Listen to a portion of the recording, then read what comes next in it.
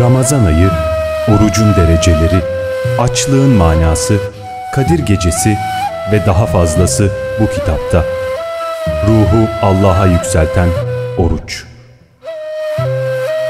Cemal Nur Sargut sizin için derledi.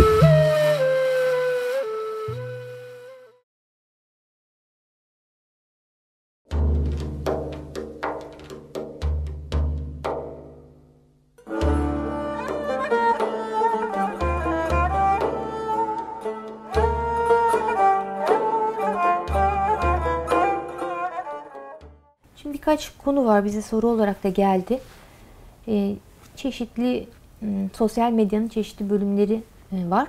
Biz, biz gün içerisinde mecburen yani ben birkaç kere çıktım ama yine mecbur oluyorsunuz. Arkadaş gruplarınızla irtibatta oluyorsunuz. Belli bir ders alıyorsunuz o grupla irtibatta olmak için. İşte Facebook'ta, Instagram'da bir takım sosyal medyaya bir şekilde bulaşmış durumdayız. En azıyla kurtarmaya çalışıyoruz. Fakat işte biri yer biri bakar kıyamet ondan, ondan kopar. Dan biraz korkaraktan yani insanların çok gözünün önüne e, şey yapılan güzellikler var bu Facebook'ta. Pozitif ve negatif her şey bazen birdenbire çok fazla dayatılmış oluyor. Sosyal medya adabı diye bir şeyin yazılması, kitabının yazılması gerektiğini düşünüyorum açıkçası. Sizin de buna ne Hayır. gibi kat, katkılarınız oluyor? Yazarız inşallah birlikte hocam ama İnşallah. ne gibi katkılarınız Şimdi olabilir? kızım her şeyi iyi yönde veya kötü yönde kullanabilirsin. Evet, hı. elinde. İşte atom atomu bomba da yapabilirsin. Senelerce bir ülkeyi aydınlatacak elektrik ve ışık haline de geçirebilirsin. Bu insanın e, kulun Allah tarafından yönlendirmesiyle oluşan bir şey. İçinde negatiflik varsa negatifliği aşikar eder. Pozitiflik varsa pozitifliği. Dedikodu yani bak e, bizim kimyada atomun merkezinde pozitiflik durur. Evet. Çevresinde bu pozitiflik sabittir. Çevresinde negatifler devamlı dönüp durur, dururlar. Negatiflik sabit değildir. Oradan oraya atlar, oradan oraya atlar. Türleri çok. Şimdi bu e, sosyal medyada çok konuşan kişiler çoğu atlayan kişiler. Atlayan kişilerin çoğunda da negatiflik olur. Negatiflik olan, pozitif olan yok mu? Çok var. Çok güzel kullanan da var da negatiflik oluşuna şaşmamak lazım. Ve çok konuşulan ve çok görülen ve Türkiye için ümit kestirilen yer bir avuç negatif insanın çok fazla konuşmasıyla alakalı. Evet evet. Pozitif bir insanın sonsuzluğu susar, bir avuç negatif insan çok konuşur. Peki negatif insan konuşursa ne olur? İki kişinin kafasını bulandırır. Ama ezeli nasibinde o bulantı onu tekamüle zorluyorsa ne mutlu ona. Kendisine hastalık yapar. Hı. Çünkü en önemli nokta budur. Kendisi hastalanır. Neden hastalanır? Çünkü o insan hep negatif düşündüğü zaman, onda pozitiflik olmadığı zaman vücudu mahveden, yıpratan budur. Kimseyi kendi kötü düşüncenden etkileyemezsin. Kendi düşüncenin kötülüğü ancak kendisini yıkar insan. Dolayısıyla zarar kendimizedir. Birine kin duyarsak o adamdan o adama ne? Yani akşam gider unutur bile. Tabii. Ama sen o kinden gece gündüz berabersin. Hadi hasta oldun. Nefretle öyle. Dolayısıyla sosyal medyayı da inşallah güzel şeyler için kullanmayı Allah bize hallettirsin. Ama şunu da kabul etmek lazım ki eğitim sistemimizde inşallah ben çok güveniyorum düzeleceğine. Daha hala oturmayan taraflar var. Daha hala hukukumuz tamamen batı hukuku. Daha hala eğitim sistemimizin bir kısmı tamamen batıya dayanıyor. Ben batıya karşı olan bir insan değilim. Onun da alınması gereken yerlerin alınmasını düşünüyorum. Ama ahlakının değil, edebinin değil. İnsan haklarına uyar gibi gözüküp de hiçbir insan hakkının geçerli olmadığını görüyorsun Batı aleminde. Geçenlerde bir büyük konferansta, kadınlar için yapılan bir büyük konferansta bir Fransız dünya güzeli, zenci ve avukat bir Müslüman kız benim yanımda konuştu. Ve çektiklerini anlattı Fransa'da. Ne kadar kısıtlandığını Müslüman olduğu için. Ne kadar e, ırk- ırkçı olduklarını, zenci var, olduğu evet. için. Yani bunları düşündüğün zaman senin o hayran olduğun nice ülkenin bizden çok daha fazla insan haklarını reddettiğini görüyorsun. Zaten hocam Sami Ayverdi hoca büyüklerimize ilahiyatçı büyüklerimize şu konuyu vermişlerdi. İnsan hakları beyannamesiyle peygamberin veda hutbesini mukayese edin. Orada aradaki farkın büyüklüğünü görüyorsun. Yani insan hakları beyannamesi ne kadar taltif edilip ne büyük bir devrim olarak geçiyor ama devrimin aslını peygamber e, veda hutbesinde yapmış. Bütün insanlığın kafasındaki putları yıkmış, yok etmiş. İşte bu bakış açısından biz etik olamayız. Etik her ülkenin kendi ahlakı vardır, kendi etiği vardır. Ülkeler arasında etik farkı vardır. Bizim bütün İslam'ın tek bir ahlak anlayışı vardır. O da ahlakı Muhammedi. Biz başka ülkeye göre ahlak anlayışı getiremeyiz. Biz peygamberin ahlakına göre ahlaklanırsak insan olma hakikatini elde ederiz. Bak insan da ünsiyetten geliyor. Ünsiyette ne demek? Herkese iyi geçinmek. İnsan olmak iyi geçinmenin neticesidir. İyi görmekten geliyor, iyi düşünmekten, Evet. başta niyetinin güzel olmasından E sen herhalde kin öyle değil mi hocam? nefret duyarsan nasıl iyi, iyi geçineceksin o insan?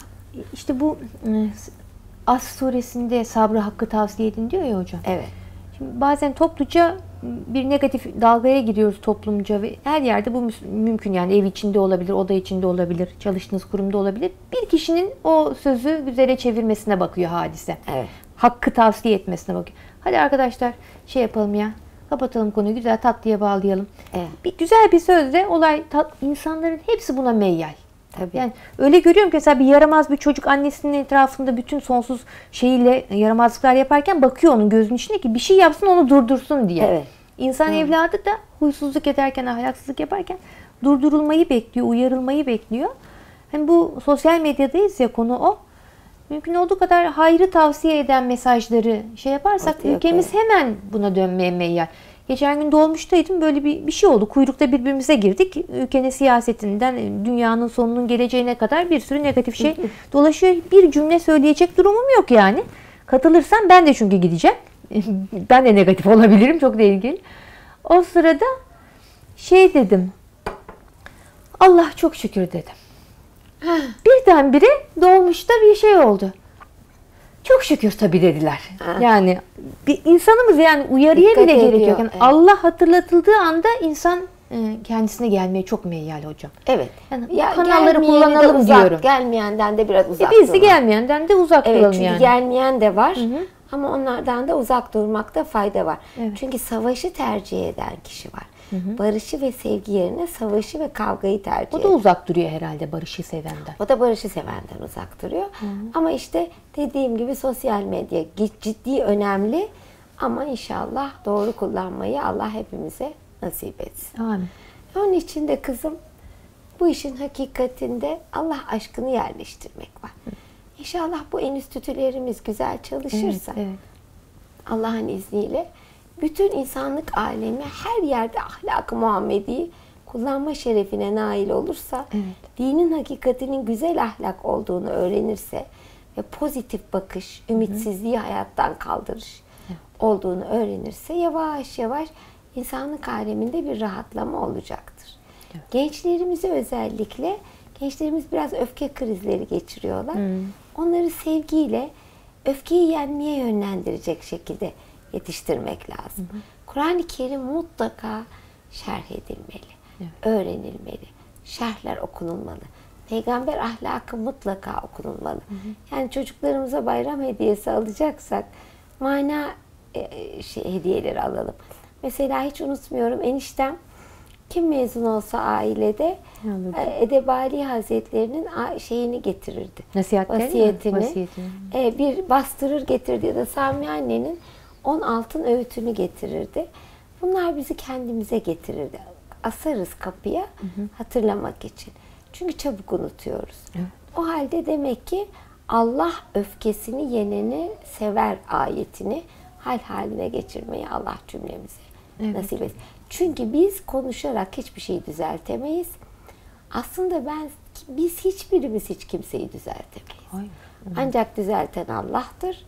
Biz yok olarak düzeltebiliriz. İnşallah yok İnşallah kendimizi düzeltelim yani en İşte yok başta. olursak Allah bizden düzeltiyor herkesi çok şükür. İnşallah Ramazan günleri, Ramazan geceleri buna vesile olsun hocam. İnşallah. Dualarınızla. Kur'an'ı da okumayı arttırmak lazım herhalde Evet, bu Ramazan'da. Zaten Ramazan. Kur'an ayı. Evet. Ama Kur'an'ı okumak mutlaka onu idrak etmek demektir. Yani böyle Harun Reşit'in papağanı Yasin'i ezbere biliyormuş. Sadece papağan gibi. Bana gelip herkes diyor ki ben Kur'an okumayı öğrendim. Çok güzel. Keşke herkes öğrense. Evet. Ama işe yaramaz. Sadece yani Sadece okumaksa. okumakla ancak enerjin artar, huzurun artar, evin temizlenir, Tabii. civarın temizlenir. Ama mana olarak yaşayan Kur'an haline geçmek şart. E, nasip olsun diyelim hocam okuyor okuya. Amin. Ağzınıza sağlık, gönlünüze sağlık. Efendim Ramazan ayı boyunca çok şükür bu sene de sizlerle beraber olma fırsatını yakaladık Eylül'le ikimiz.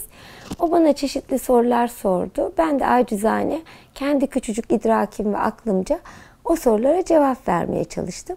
Bunların bir kısmı hakikaten sizin bize yollamış olduğunuz soruların içinde şahsen değil de genel olarak cevap verebileceğimiz tarzdaydı. Onları tercih ettik. Şahsen vereceğimiz cevapları da ya bize aitse e, şahsa göndermeyi tercih ediyoruz. Yahut Diyanet'e aitse soruları oraya yöneltmenizin daha doğru olacağına Eylül'le beraber karar verdik. Şer'i sorularınızı daha şer'i merkezlere ki o işlerin uzmanı onlardır. E, aşkı sorularınızı da tasavvufi sorularınızı da acizane biz cevaplamaya çalıştık bildiğimiz kadarıyla. Hepinizi güzel bayramlar diliyorum. Mutlu ve huzurlu bir sene diliyorum efendim.